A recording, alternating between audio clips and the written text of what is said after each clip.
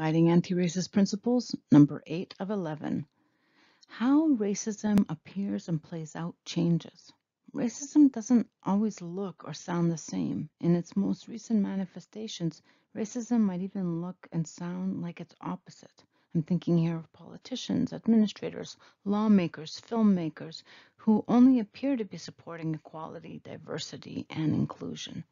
Racism in its various forms can be demystified by looking at the consequences of laws, policies, approaches, representations, and stories. Questions to help with unmasking racism include Is there a meaningful redistribution of power? Is there a disruption of the status quo? Is something fundamentally different going on?